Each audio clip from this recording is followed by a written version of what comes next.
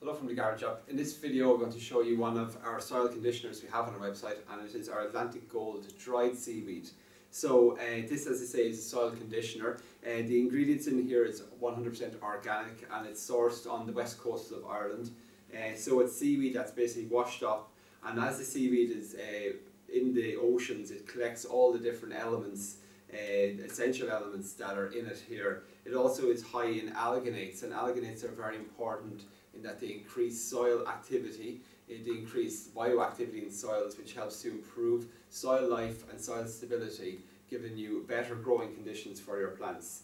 Also, then in this uh, product, which is, like I said, 100% natural and organic, there's also a lot of uh, plant nutrients such as nitrogen, phosphorus, potassium, and a lot of other trace elements.